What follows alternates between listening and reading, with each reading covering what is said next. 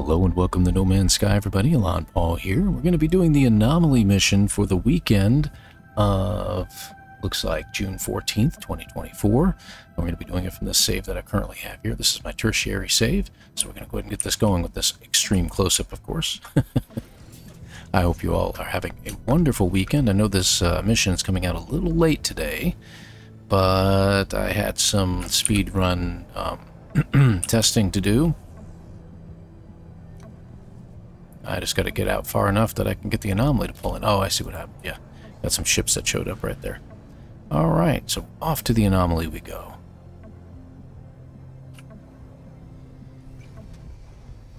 As you can see, I haven't on this save done the expedition yet, so I do not have an Iron Vulture yet on this save. I plan on doing that later for this one.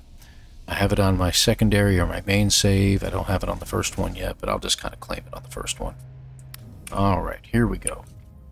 So, as you can see, we've got a little blue floating orb over the Nexus over here, indicating we have an anomaly mission ready. I saw it during my expedition and I'm like, oops, I forgot to record that. Well, here we are. Looks like we're going to be killing some flora again today. 1800 quicksilver and 11 life support gels are our reward. Initializing the mission. Start said mission. Off we go. And we'll be checking out the Quicksilver vendor when we're done. So currently the official record on the speed runs, for anybody who cares, is 1 hour and 36 minutes in game time. Um, Jason pulled a 147 today. I don't know what Delta pulled this evening. I have yet to check his video out. I was busy doing my own tests before I had a chance to check. So for all I know, he's he's gotten a better run than 136. That's what I'm expecting to have happened. And in my tests, I'm kind of pulling around the same amount of time. So I've got to look for ways to speed things up. All right, so we're in our system, the Ihoto system, it looks like. Um, it should tell us where to go here just a moment. That way. Good deal. Excellent. All right, this planet right here. Looks like we get a deathly green anomaly, ancient bones, emeralds, so we're in a green star. Excellent. Let's get moving.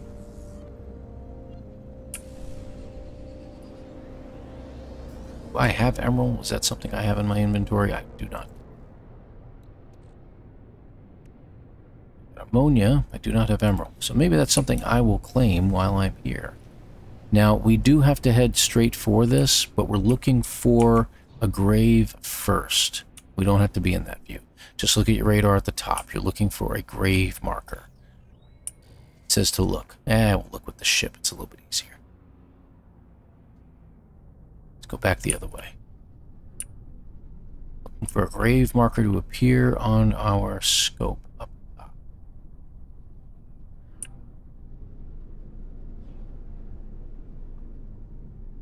self-adjusted to get over that. That was funny.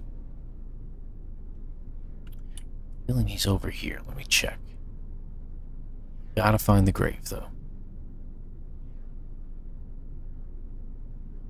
Is it over here? No.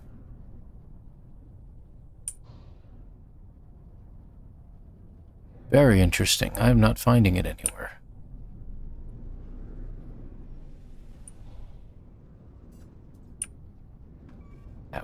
Little brush.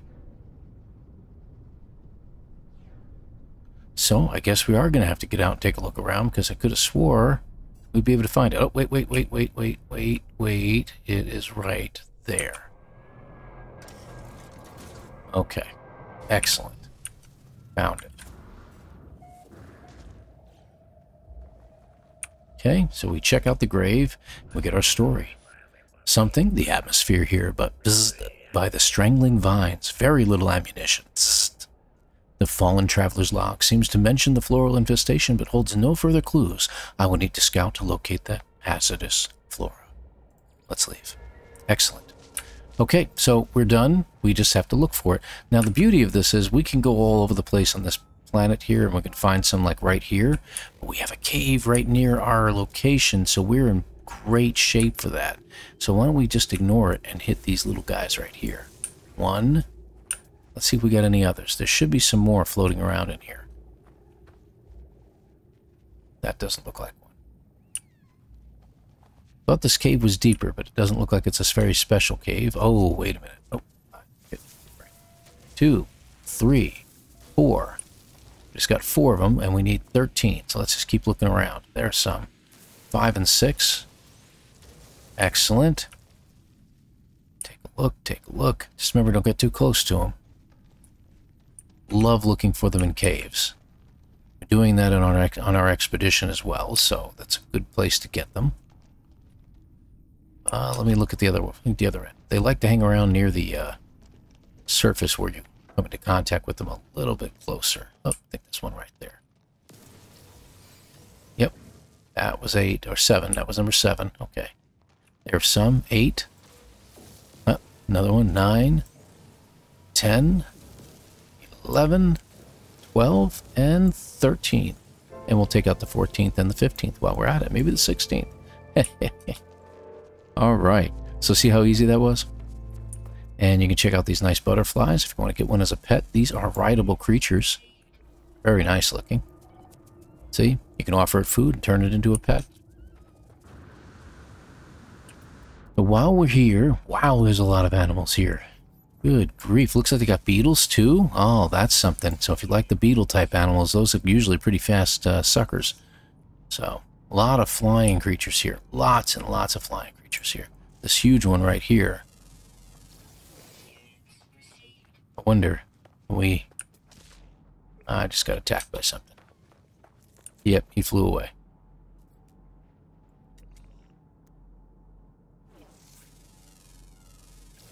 Seems to be stirring a pot over there, I guess. What is this? What do you know?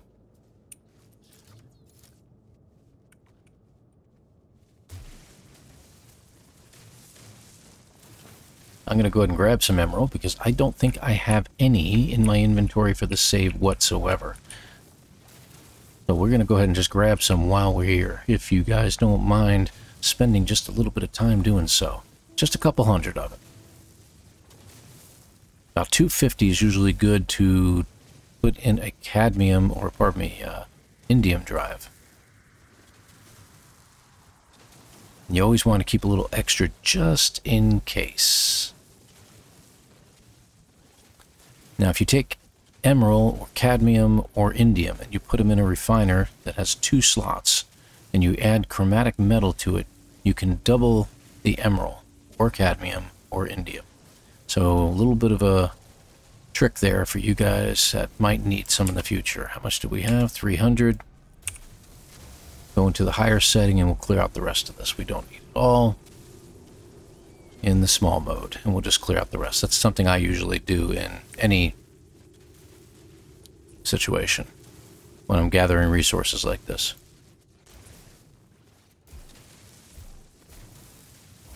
There we go. Looks like we cleaned out this deposit pretty good. All right, let's head over to the ship, which went over here. There we go. And we're back to the anomaly. Here we go. And it just says to go to the Nexus, so that's all you have to do. This is a very simple, simple anomaly mission for anybody who wants to do it. And here we go. Now, if you want to return to the system that you came from to begin with, once you turn in your mission, simply exit the anomaly again. And it will hyperspace jump you back to your original system that you were at.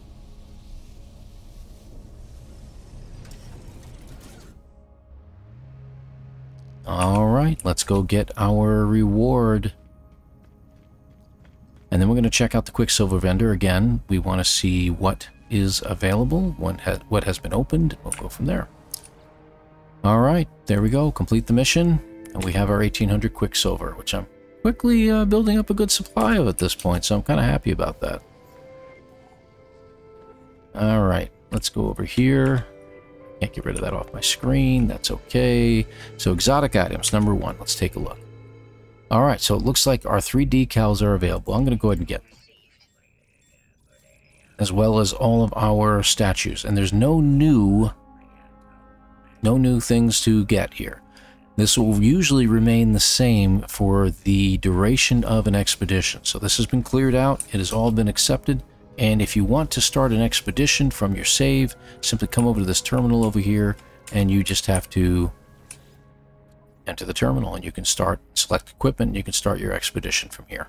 So try it out. It is a really cool expedition. I highly recommend it.